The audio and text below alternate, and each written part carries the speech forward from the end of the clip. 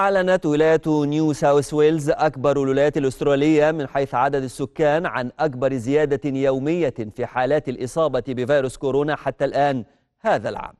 ذكرت السلطات في الولاية أن إجمالي عدد الإصابات بكورونا في التفشي الأخير اقترب من 500 إصابة بالإضافة إلى 50 حالة جديدة لانتقال العدوى في المجتمع مقارنة ب 44 حالة في اليوم السابق وهو الرقم القياسي السابق لعام 2021